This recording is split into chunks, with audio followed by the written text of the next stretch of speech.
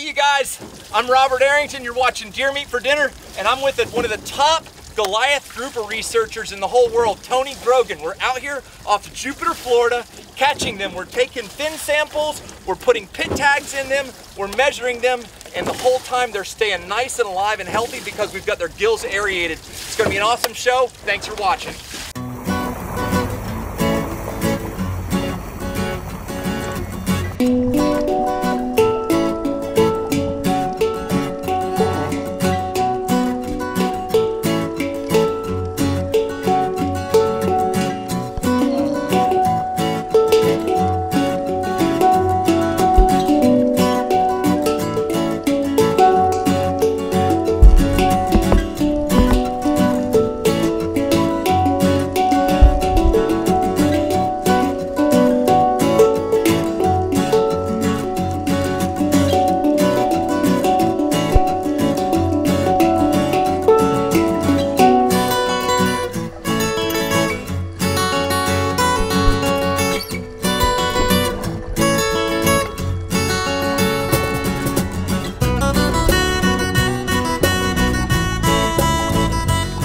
The mission today, we're out here waiting on a research vessel right now because we're gonna catch Goliath groupers. I was just in the water free diving down and I've never seen so many in my entire life. I will promise you there's over a hundred adult massive Goliath groupers on this little wreck right now. We've got 10 bonitas in the box for bait and we're about to have the most epic tug of war you've ever seen between a man and a fish.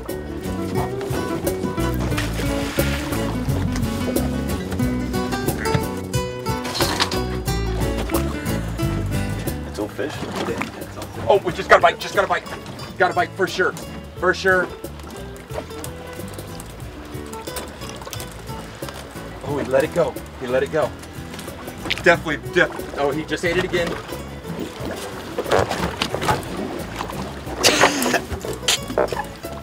Got him.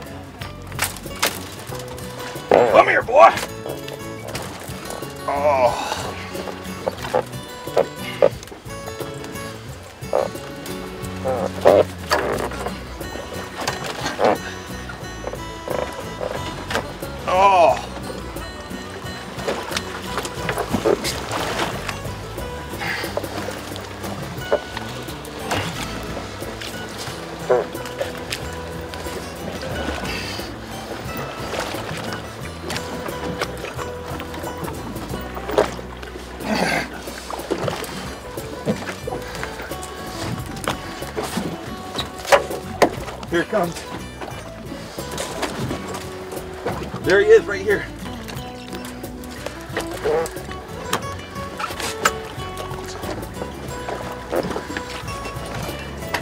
Nice one.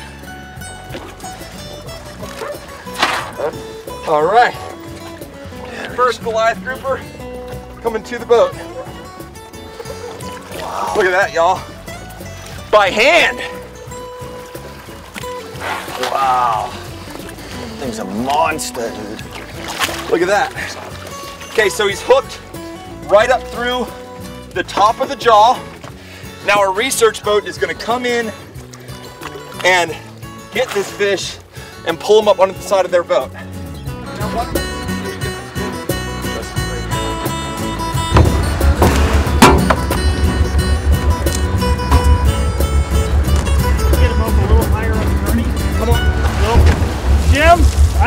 Is a recapture because I'm reading a pit tag in there.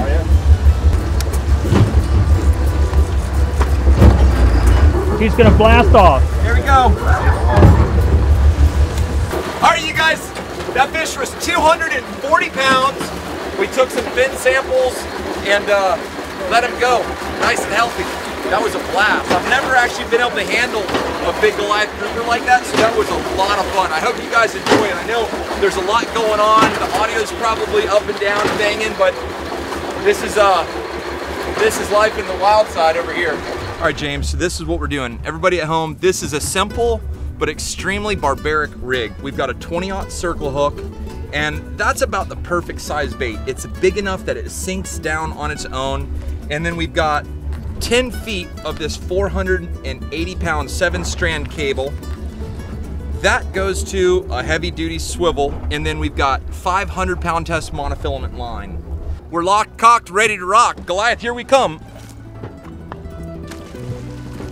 It's fun. Woohoo! There we go. Now we're gonna watch him sweat. Dude, I'm. Ah, watch your foot. Watch your foot. Holy crap. Y'all have no idea how hard he's pulling. Whew. They make that big run, and it's just absolutely all you can do. This is a big one. It is giving him the go around. Woo hoo hoo. Uh, we can see some color down there. That thing's as big as a bus. That's the size of a bus, dude. Look at that thing. Wow. Ah. Thing's coming up.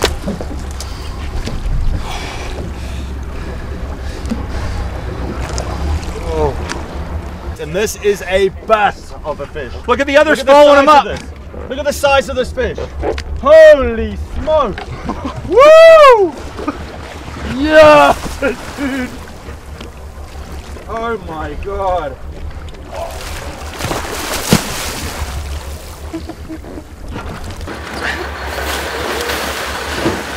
Holy shit. We Got a big one, boys. Oh my god. Well, now we're going to get this baby on the boat, do some really important research work on her, and uh, find out how important this conservation work is for this flagstone species South Florida.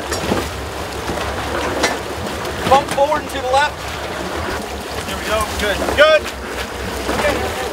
Look at the mouth on that thing. Okay, start pulling. I was happy when you're catching the baby one.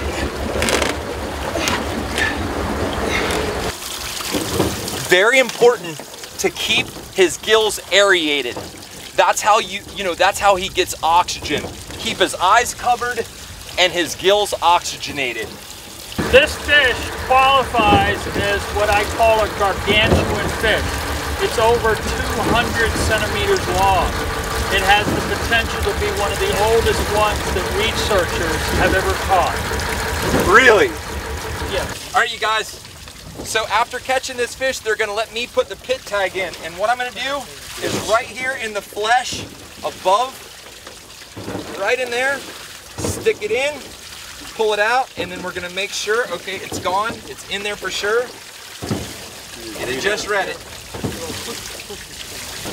There it is, you guys. They, re they removed two fin rays off that fish.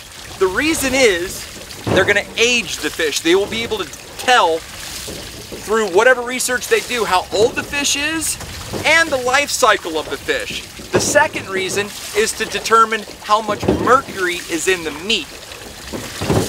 I really tip my hat to all the ichthyologists and researchers that have that have gone above and beyond with the Goliath grouper. And my older brother Aubrey Arrington, he's he's my favorite ichthyologist in the world. He's got his PhD from Texas A&M University, studied peacock bass down in the Llanos of Venezuela. He's my big brother, and I love you to death, Aubrey. Okay, removing water.